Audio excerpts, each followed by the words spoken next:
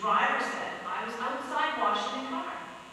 Maid said, I was dusting the corners of the house. The cook, I was starting to make lunch for later on. From the replies he received, he knew who it was. Who was it? Can you guess who it was that broke the mirror?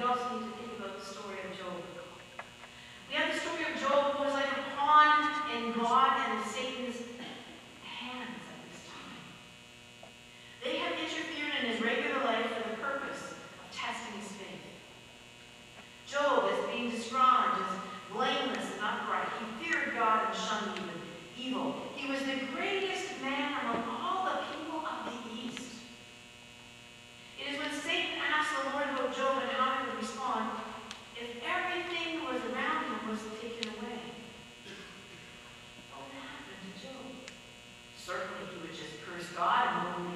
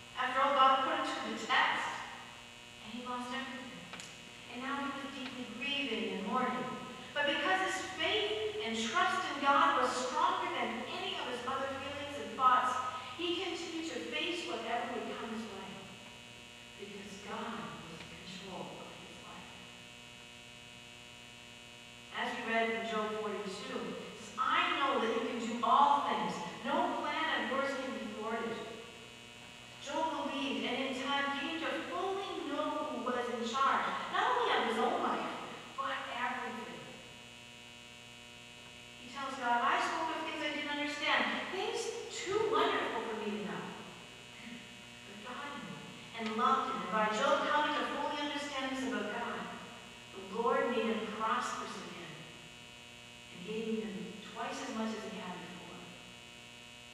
So much so that he could live to see the fourth generation. Job stuck to his faith convictions throughout his suffering. How often do people really uphold their faith when crises come? Or in times of grief, and believe until tragedy. Most often people do not do this.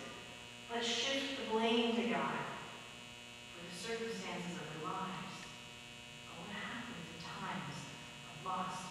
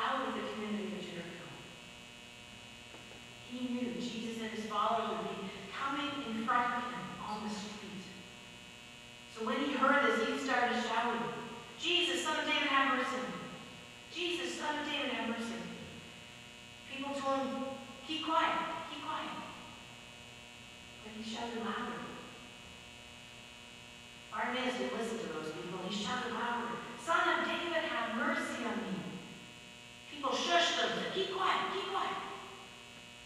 He was being a pest, an annoying pest, a person, a beggar in the street, yelling and yelling and yelling. He had no place. He had no position. He had no authority given to him to shout in the street. He had nothing, no status. But he continues to shout to people And just as Jesus and the disciples were walking, getting closer to him, he yells even louder.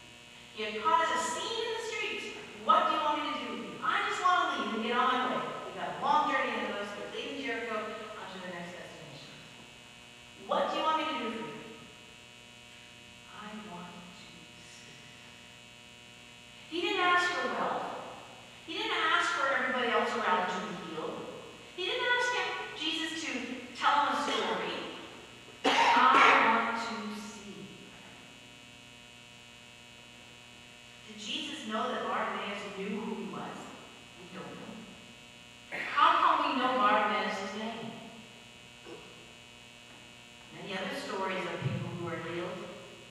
Their names aren't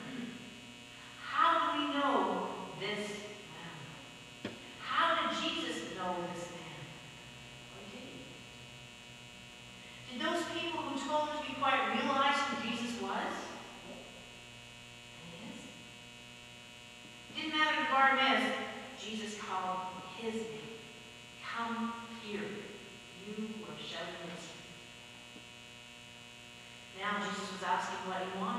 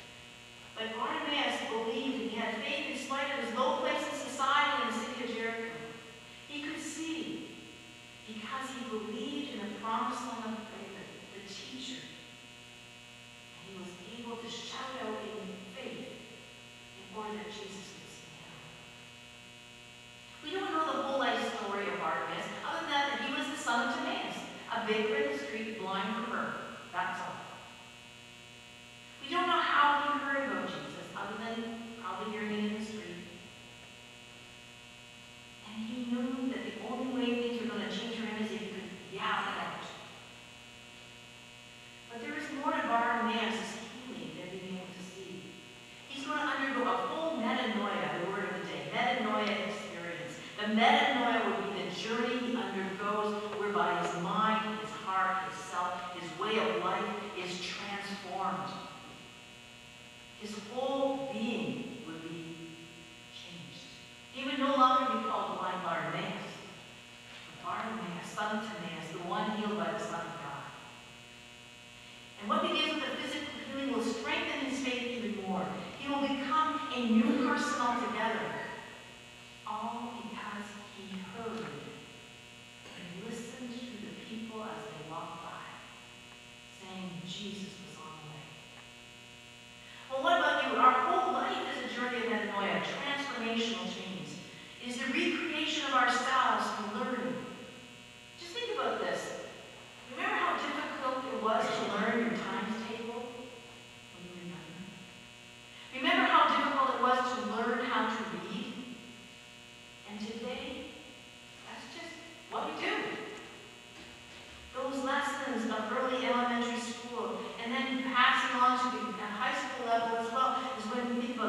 followed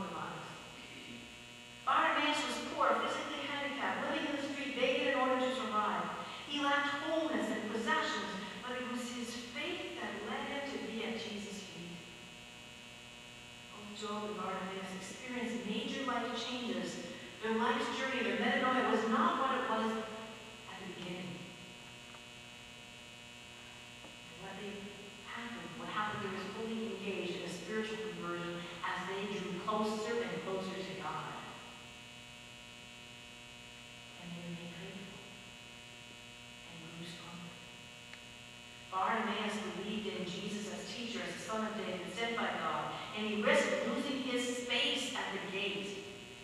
He risked his place being taken by another person by shouting while Jesus was down the street.